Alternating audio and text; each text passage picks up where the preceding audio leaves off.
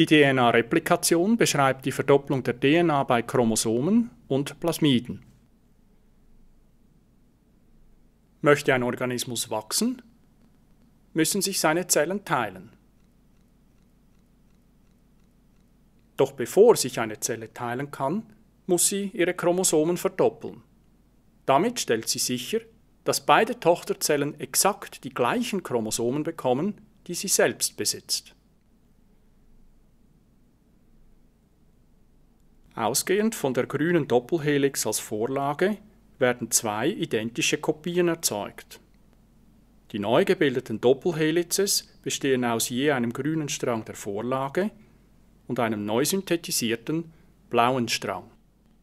Weil das Resultat einen alten grünen und einen neuen blauen Strang kombiniert, bezeichnet man die DNA-Replikation als semi-konservativ.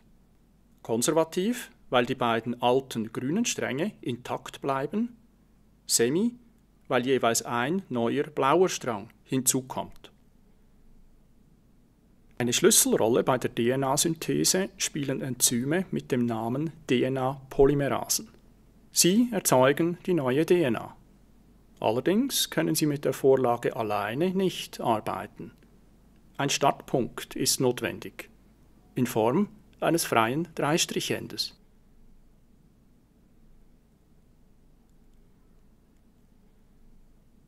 Woher das blaue Stück DNA mit dem Dreistrichende kommt, wird später deutlich. DNA-Polymerasen verlängern einen DNA-Strang nur am Dreistrichende. Sie arbeiten deshalb immer in 5-3-Richtung und nie umgekehrt.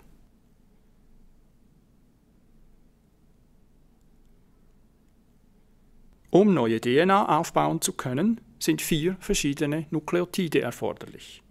Desoxyadenosintriphosphat, Desoxythymidin-Triphosphat, Desoxyguanosin-Triphosphat und Desoxycytidin-Triphosphat. Weil aber die Namen so lang sind, arbeitet man meist nur mit den Abkürzungen. Alle vier zusammen nennt man Desoxynukleotid-Triphosphate oder kurz DNTP. Die DNA-Polymerase erzeugt neue DNA, indem sie die DNTP als Bausteine verwendet. Von jedem DNTP werden zwei Phosphatreste als Pyrophosphat abgespalten. Das liefert die Energie für die DNA-Synthese. Das verbleibende Desoxynukleotid Monophosphat wird in die DNA eingebaut. Mit jedem neu eingebauten Desoxynukleotid verschiebt sich das freie Dreistrichende um eine Base nach rechts. So dass die DNA-Polymerase das nächste Desoxynukleotid anhängen kann.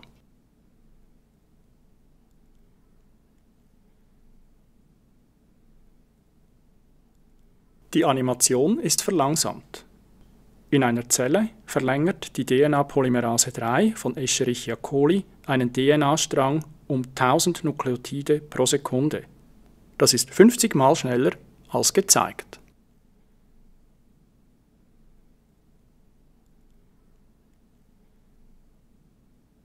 Betrachten wir nun die DNA-Synthese im Detail. Als erstes gilt es, die beiden DNA-Stränge der Vorlage voneinander zu trennen. Die Doppelhelix ist jedoch eine stabile Struktur, zusammengehalten durch Wasserstoffbrücken, die gegenüberliegende Basen miteinander bilden. Das Enzym Helikase kann die zwei Stränge voneinander trennen. Die Energie dafür bezieht die Helikase aus der Spaltung von Adenosintriphosphat. Es entstehen Adenosin-Diphosphat und anorganisches Phosphat. Um den Doppelstrang weiter öffnen zu können, muss die Helikase permanent mit ATP versorgt werden.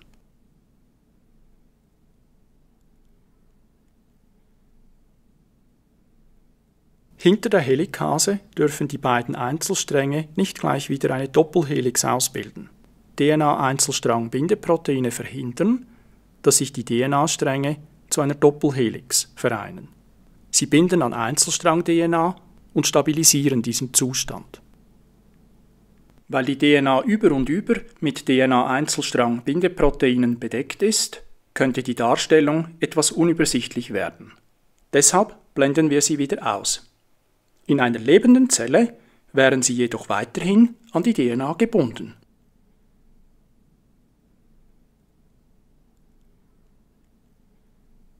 Die DNA-Replikation an den zwei Strängen läuft unterschiedlich ab. Am Vorwärtsstrang ist der Mechanismus etwas einfacher als am Rückwärtsstrang. Der Grund dafür ist, dass die 5- und 3-Enden der zwei Stränge in unterschiedliche Richtungen zeigen. Man sagt auch, die Stränge sind antiparallel angeordnet.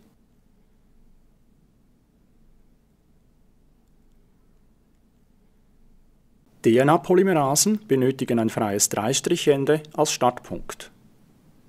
Das Enzym Primase erzeugt kurze RNA-Abschnitte, auch Primer genannt. Jeder Primer besitzt ein freies Dreistrichende und damit einen Startpunkt.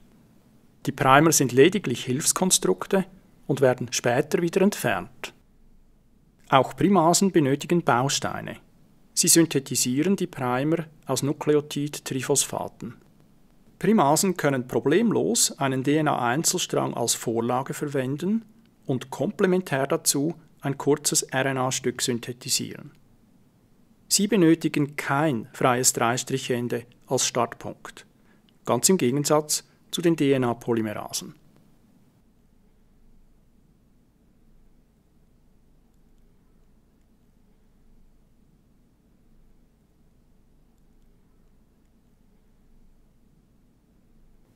Ist der Primer fertig, löst sich das Enzym ab. Die wichtigste Eigenschaft eines Primers ist sein freies Dreistrichende. Jetzt hat das Enzym DNA-Polymerase 3 einen Startpunkt. Die neue blaue DNA entsteht durch den Einbau von Desoxynukleotiden. Auf dem Vorwärtsstrang zeigt das Dreistrichende in Richtung Helikase. Die DNA-Polymerase 3 kann deshalb der Helikase folgen und kontinuierlich neue DNA synthetisieren. Das hat zur Bezeichnung Vorwärtsstrang geführt.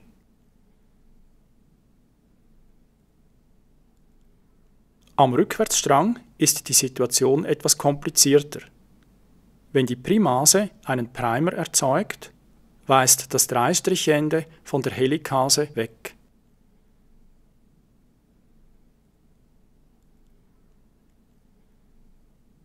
Synthetisiert nun die DNA-Polymerase 3 neue DNA, wächst auch der neue blaue DNA-Strang in eine Richtung, die von der Helikase wegweist. Die DNA-Polymerase wird deshalb schon bald auf das 5-Ende des nächsten Primers treffen. Der Primer stoppt die DNA-Polymerase und verhindert, dass das Enzym weiterarbeiten kann. An dieser Stelle löst sich die DNA-Polymerase 3 von der DNA ab und hinterlässt eine Lücke mit einem freien Dreistrichende. Das freie Dreistrichende bildet den Startpunkt für die DNA-Polymerase 1. Dieses Enzym tut zwei Dinge gleichzeitig. Wenn es sich vorwärts bewegt, baut es den RNA-Primer ab und schafft damit Platz. Die entstandene Lücke füllt es hinter sich mit DNA auf. Auf diese Weise wird der RNA-Primer durch DNA ersetzt. Ist der Primer vollständig ersetzt, löst sich die DNA-Polymerase 1 von der DNA ab, hinterlässt aber eine Lücke im Rückgrat der DNA. Die beiden Desoxyribosezucker sind noch nicht über ein Phosphatrest miteinander verästert. Die Lücke, auch Nick genannt, wird vom Enzym DNA-Ligase geschlossen.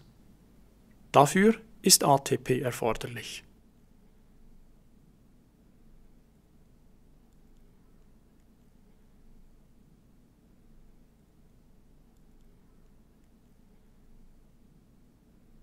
Jetzt ist das neue DNA-Stück fertig. In der Zwischenzeit hat die Helikase einen weiteren Abschnitt der DNA-Doppelhelix getrennt. Auf dem Vorwärtsstrang unten folgt die DNA-Polymerase 3 der Helikase und erzeugt kontinuierlich einen neuen blauen Strang. Auf dem Rückwärtsstrang hingegen braucht es schon bald einen neuen Primer, den die Primase synthetisiert.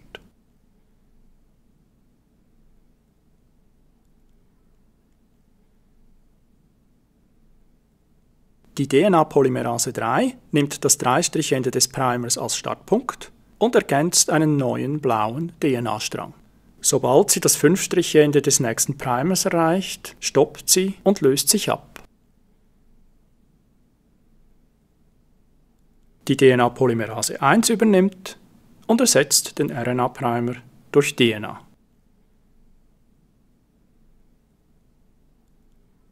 Ganz am Ende schließt die DNA-Ligase die verbliebene Lücke im Rückgrat der DNA. Auf dem Vorwärtsstrang läuft die DNA-Synthese kontinuierlich ab. Auf dem Rückwärtsstrang hingegen sind immer wieder neue Primer notwendig. Deshalb bezeichnet man hier die DNA-Synthese als diskontinuierlich.